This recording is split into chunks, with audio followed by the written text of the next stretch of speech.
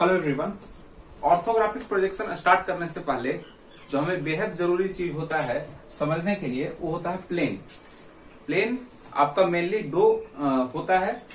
सबसे पहले होता है आपका हॉर्जेंटल प्लेन और वर्टिकल प्लेन और एक और होता है जो आपका हिडन होता है कह सकते हैं तो।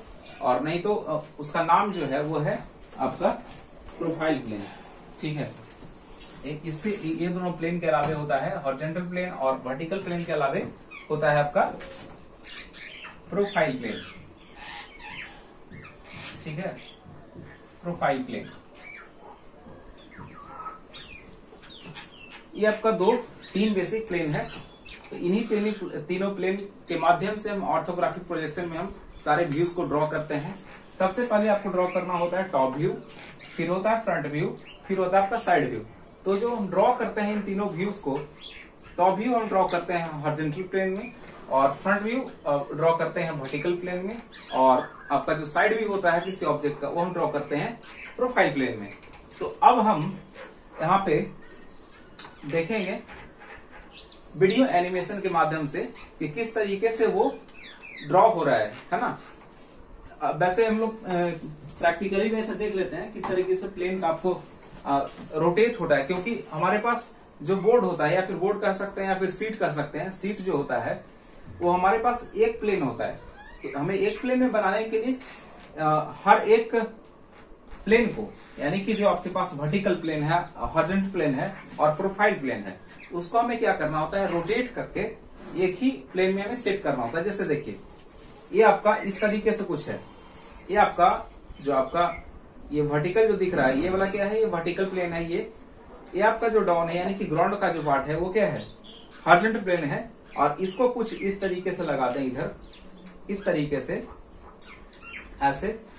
ये क्या हो जाएगा? ये वाला जो हो जाएगा आपका प्रोफ़ाइल प्लेन हो जाएगा। यानी कि इस तरीके से लगा दें सारे को। और बीच में कहीं पे इस तरीके से ये लग जाए। और बीच में कहीं पे कोई ऑब्जेक्ट यदि एग्जिस्ट करता है इसमें।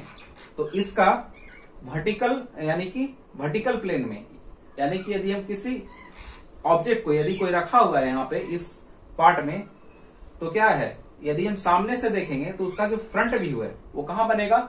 इस वर्टिकल प्लेन के ऊपर बनेगा। यदि हम टॉप से, यानी कि ऊपर से देखेंगे तो उसका जो प्रोजेक्शन होगा, वो कहाँ बनेगा?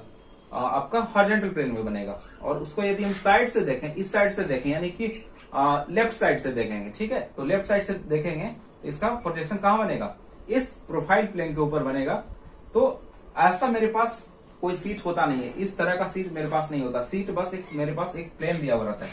तो हम करते क्या है कि जो भी प्रोजेक्शन आपका टॉप व्यू का हॉर्जेंटल प्लेन के ऊपर बनता है, उसको कुछ इस तरीके से हम रोटेट कर देते हैं। तो क्या हो जाता है? इस तरीके से ये सेट हो जाता है पेपर के ऊपर, ठीक है? एक प्लेन में आ जाता है। आपको वर्टिकल प्लेन में तो ये सामने बन रहा है। फ्रंट व्यू तो पहले से तो प्लेन में है, इस प्लेन में है बट ये क्या होता है जो टॉप व्यू होता है, वो इस प्लेन में बनता है, ठीक है? इसको रोटेट करके हम कुछ इस तरीके से कर देते हैं तो एक एक सेम प्लेन में चलाता है। ये भी कुछ आपका इस तरीके से है सेट आपका ये जो प्रोफ़ाइल प्लेन है, यानी कि जिसमें हमें साइड व्यू बनेगा। इसको भी हम क्या करते हैं कि इस तरीके से रोटेट करके एक प्लेन में सेम प्लेन में कर देते हैं। यानी कि आपका यहाँ पे front view top view and side view तीनों एक सेम प्लेन में आपका बन जाता है, क्योंकि मेरे पास जो सीट होता है, वो एक प्लेन होता है, एक प्लेन होता है। तो हम क्या, हमें क्या करना होता है कि सारे को हमें, सारे व्यूज़ को हमें एक ही प्लेन में ड्रॉ करना होता है। इसलिए हम क्या करते हैं कि हॉर्जेंटल प्लेन को और प्रोफ़ाइल प्लेन को हम रोटेट करते हैं, ठीक है?